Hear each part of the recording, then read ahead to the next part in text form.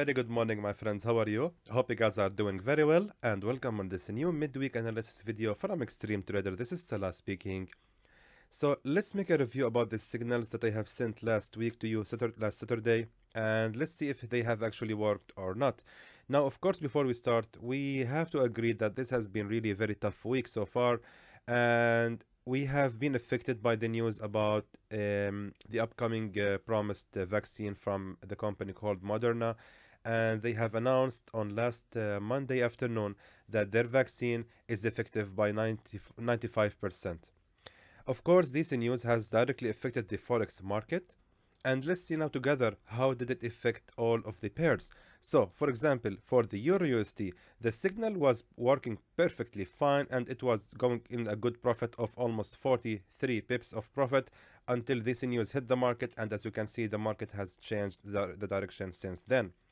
Then going to the Pound USD.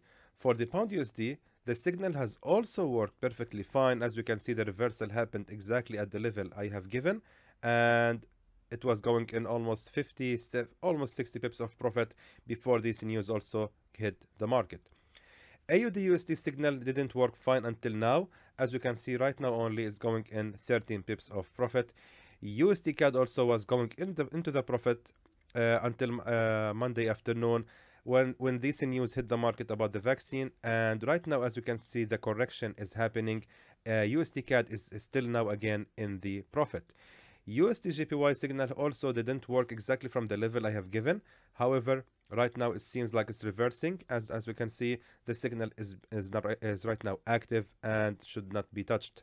Uh, CHF also, it has worked perfectly fine. As we can see, USD CHF was going in almost, I think it was the highest one. 50 pips of profit. And um, after this news of course about the vaccine hit the market. It also went down. However the correction has finished. And right now the market is actually going in the profit again. For the gold it was a different story as we can see. Not different story actually. It was bigger story than that. So the gold once they have announced this news it has affected the gold directly. And the gold has actually moved for more than 300 pips before actually correcting its direction again so what I'm trying to say here is DC news actually has really affected the signals. However, we are not the one to be blamed about what happened because, of course, DC news has also affected the signals in the premium group as well. And there was nothing to do to be done about that because, yeah, it has just changed all of our, our calculations. So what we can do right now, what are the things uh, that we can expect to do this week in the market. So let me now go to the midweek analysis and let's discuss together the signals that we are uh, going to take. So of course, let's start with the Euro USD. Now the Euro USD signal, in my opinion, is still valid and we can keep the trade running in the, in the sell. However, uh, for those who haven't entered this signal yet, we can actually change the entry level. Now, if we look carefully here, we can see that we have here a new key resistance level has just appeared right here. Exactly right here on 1.8690. And if we zoom in, we can notice that this resistance, which is right here, has already been again retested here and creating a resistance number one. So we can expect from the market to rise a little bit more to hit this level again and creating resistance number two and from that point right here is going to be a good idea in my opinion to start again shorting the euro usd however we are going to change the take profit levels because uh, not right now i don't think the pair is going to reach this uh, take, take profit level this week so let's change the, the the signal of the euro usd for those who haven't entered it yet so the new sell order is gonna be replaced on, oh, sorry, gonna be placed at 1.18690. And let me just change also the edge of the safe zone to be like this. Yeah, from here. And I think there is no need to change the other edge of the safe zone. So the signal is gonna be valid for almost 45 pips before it goes in loss. Now, the take profit level, however, is gonna be changed and we are going to select this support level right here uh, just want to be sure just want to be sure it's the right level actually my eyes looking here I want to align my line uh, perfectly fine on the support levels that should be fine yes like that So we are aiming right now from the Euro USD almost 66 pips of profit. Hopefully we'll make them all. And let's just uh, uh, change the take profit level to be 1.18040. So yeah, hopefully it's gonna be also a valid signal and we will make good profit out of it. Now for the pound USD, pound USD also has changed the direction. Of course, the take profit level is gonna be changed and the signal itself is gonna be changed as well. So now what's happening to the pound? The pound actually has been affected by the uh, recent news that next week they are planning to uh, announce if there will be a deal or no deal of Brexit. Man, this is so boring already. Since more than four years they are talking about this. Since more than four years, I think almost every week I'm waking up with a deal or no deal in news. Deal or no deal. Man, just get it done already. Just get out of Europe. I don't care if deal or no deal. Actually, this has been affected the market so badly. Now, let's discuss now what's going to happen to the pound USD.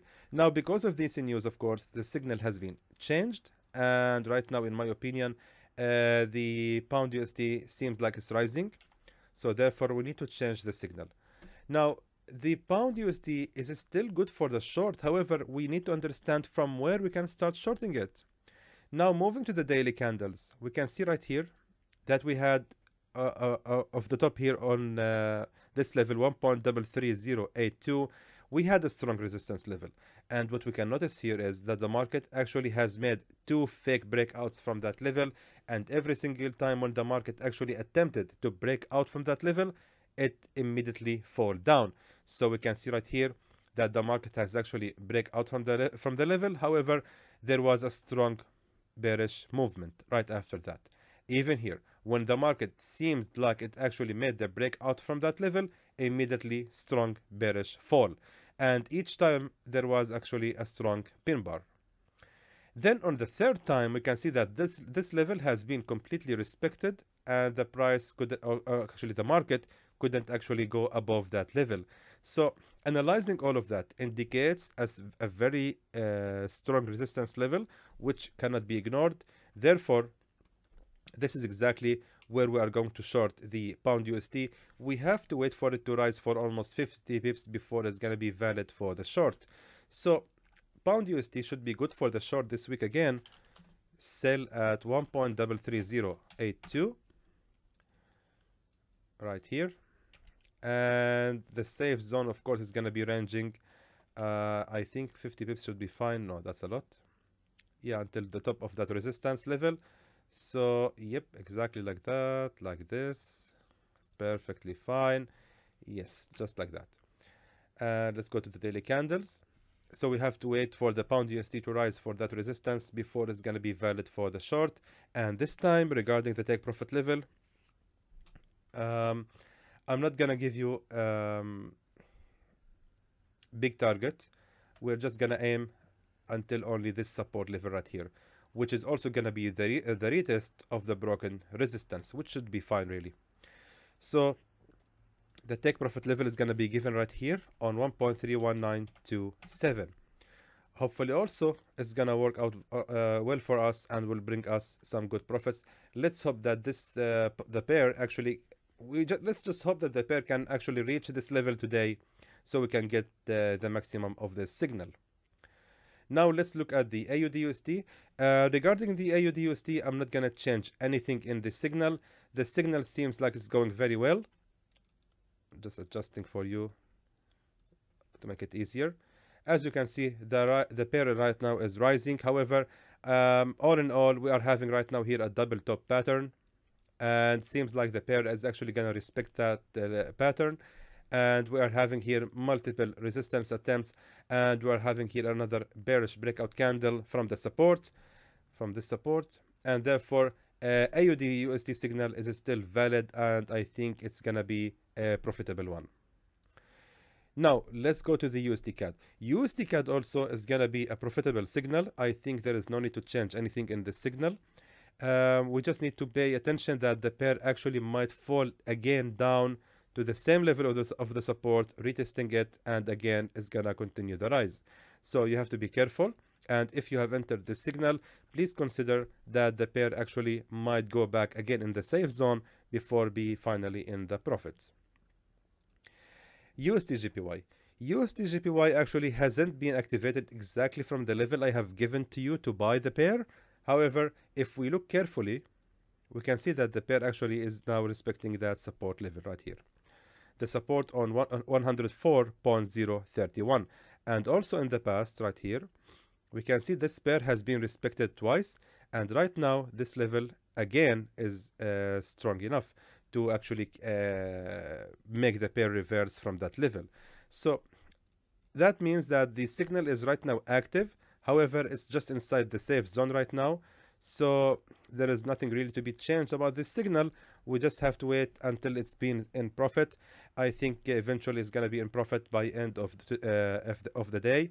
So the signal for the USD JPY remains the same. Also for the USD CHF, the signal is going to remain the same as long as it's in profit and the pair actually has reversed exactly from the level I have given last week. Now moving to the gold. The gold actually have a different story because as you can see here, the pair actually has fallen for more than 300 pips. Uh, of course, that was upon the news about the vaccine. And again, the market is back again to its uh, correct level.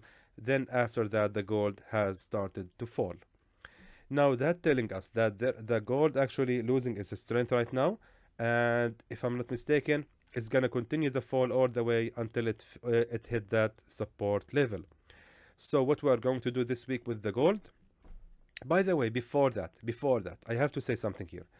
The gold this week actually has hidden the take profit level even before going to the to the entry level. When Monday afternoon, before they announced this news about the vaccine, as we can see right here, the pair actually has went all the way starting from Monday opening and went directly all the way to the take profit level. Let me just announce here that this actually makes the signal completely disqualified because if the signal has already hit in the take profit level without reaching the entry point, then please don't take it anymore. We are sitting here at take profit level for a reason. We're expecting the pair to reach that level. So if the pair actually has reversed from the take profit level, then after that went to the entry, then please don't enter this signal. Anyway, let's now discuss uh, what we can do next with the gold. Now, let me go to the daily candles and of course delete all of these numbers. Now, as I said before, this support right here of the gold is very, very strong. As we can see, this level 1863.32 this is very strong level of the support and it has been respected so many times and the gold actually failed to break out from that level so many times even recently last monday we can see right here that the pair has actually made this strong bearish movement upon the news of course and actually it has reversed exactly on that level as well that means this level is very strong and most likely what will gonna happen now is that the pair gonna uh, visit that level again after seeing the price action here which indicates a bearish movement. Now, what we can do with the gold is we, we actually need to short the gold as soon as possible. So what we're going to do is we are hoping that the gold actually might reverse exactly at that support level. As you can see, we're having here a support level and here it was also a support. So we are hoping that the pair actually might reverse and this time we're going to place the, the sell order right here on that on the level of the resistance. So we can start shorting the gold at 1882 exactly there. Right here. And what we can see right here is we had here a resistance number one after the bearish breakout candle and we are hoping for shorting again after resistance number two. Keep in mind that the trend is going down in a bearish momentum and therefore uh, shorting here i think is gonna be uh, ideal now the take profit level, however, is going to be changed to be exactly the level of the support level right here. As you can see, we're having here the support and here as well. And of course, this one here. So this is going to be our take profit level because after that, I believe that the gold is actually actually we're not sure what will gonna happen to the gold after reaching that level if it's gonna this time succeed to break out from the level or if it's gonna reverse we don't care as traders because we are gonna make some good profit hopefully from uh, shorting the gold at that certain level right here. So the, take, the, the, the safe zone should be actually ranging until the top of that resistance right here. uh, which actually has been uh, retested so many times here, indicating, of course, a strength in the level. So it's going to be almost 80 pips of the safe zone. And right here, we're going to draw uh, the edge of the safe zone like that. And the take profit level is going to be given, yeah, take profit level on 1867.40. So there goes the, the signals for the midweek uh, analysis. And guys, I'm telling you, please be careful, be aware for these unexpected news. Don't ever trade with a big lot size. These news actually can hit the market at any moment if you are not careful enough. So, in the end, I hope that was informative to you, and I would like to thank you for watching.